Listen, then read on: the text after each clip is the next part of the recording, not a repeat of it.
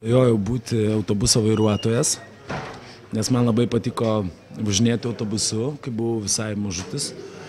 Ir, ir man atrodo, ta profesija labai svajinga ir labai tokia, nežinau, nu labai rimta.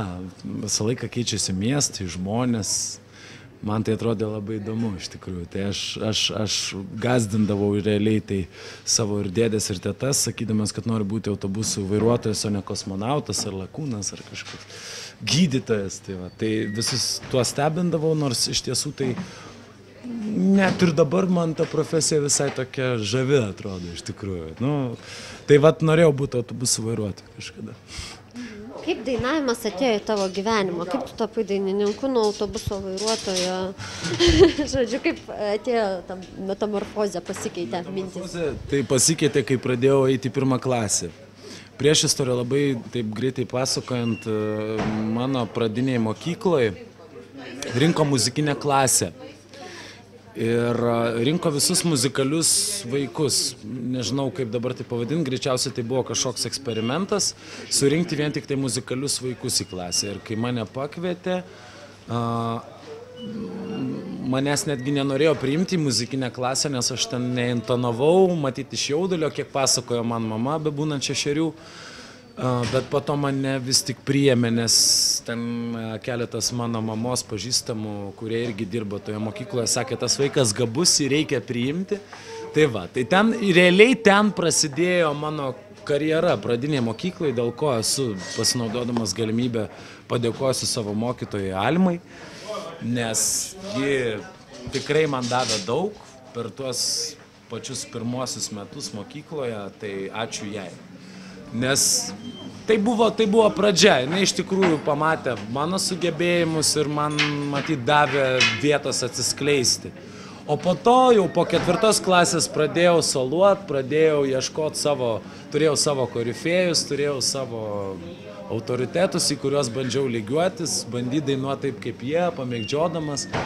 Po to visokie respublikiniai konkursai, laureatas, kai nekuriu esu ir taip toliau, nu žodžiu. Bet tai yra patys, nu, pradinė mokykla, tai buvo tas toks, ta pozicija. Dainavimas dabar yra mano visiškai svarbiausias dalykas, tai yra mano profesija, iš kurios aš ir duona pelniu. Gerai, kai ta duona būna su sviestu ir dešra. Be abejo, laikmetis yra tas, kada kartais dešros ar sviesto nebūna, bet, kaip pasakyti, gyveni, ieškai, kuri stengiasi suburti kažkokią tai žmonių grupę aplink save ir, ir ieškoti kažkokių kūrybinių sprendimų tam, kad būtent scenos. Tai kol kas sekasi. Nepaslaptis, esu baigęs kultūros vadybą Vilniaus kolegijoje, esu įgyjęs bakalauro mokslinį laipsnį. Kas nulėmė šį tavo pasirinkimą? Nulėmė nežinau, nulėmė, nulėmė mano, mano, mano pomėgiai ir mano, mano gyvensena, mano... Iš tiesų tai mano pomėgiai, kadangi, kadangi a, mokykloje buvau pakankamai aktyvistas, nebuvau galbūt labai stambus jaunuolis ir labai geras mokinys, truputėlį kartais pasimuliuodavau, bet stengdavausi aktyviai dalyvauti popamokiniai veikloje ir, ir vedant ir organizuojant kažkokius tai mokyklinius renginius, tai realiai, realiai į tą pusę ir pasukau, daryti kažkokią tai šventę žmonėm. Tai nu, toks mano tas įsilavinimas pagal tai, ką aš anksčiau ir, ir, ir dariau, sakykime. Ir ar neteko gailėtis pasirinkus, na, sakykime, dainininko kelią tavo atveju? A... Ir tavo profesijos trūkumai kokie? Trūkumų kaip ir nėra iš tikrųjų. Svarbiausia būti ištikimam savo idėjom, savo matomam tikslui. Vis tiek scenoje tu turi tokią skirtinę galimybę žmonėm papasako daug įvairiausių dalykų ir galbūt įsikūnyti į kažką, tai, tai, tai turi būti labai sąžininga ir tai net turi būti sumeluota. Tai yra tai svarbiausia. O profesionaliam atlikėjui svarbiausia būti atviram idėjom, jas priimti, o tas idėjas, kurios tau yra, tos idėjas, kurios tave įkvepia, jas įgyvendinti. Bet visų profesijų atstovai įvardė kažkokius trūkumus. Dainininkai mažiausiai. Peršas išvada, kad būti dainininku tai yra geriausia profesija pasaulyje. Ar tikrai? Nu tai va dabar aš jeigu jūsų paklausiu, ar būti dainininku yra geriausia profesija. Man peršasi tokia išvada. O jeigu operatoriaus paklaustumėm, kaip jūs manot? Geriausia fotografu būti. Na va, tai kiekvienas mes turim savo poziciją. Lygiai taip pat aš galiu pasakyti, kad taip geriausia, nes aš tuo gyvenu.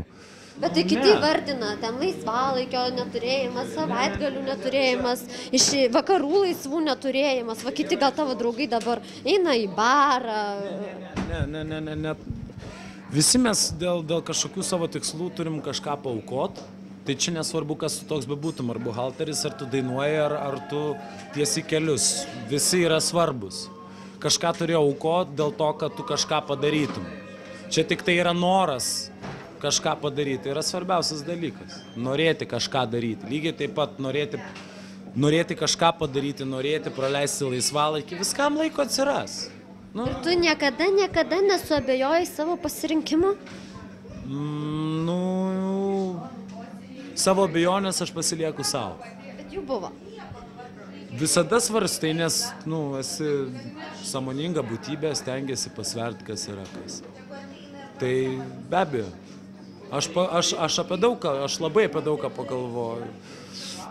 Bet aš esu patenkintas.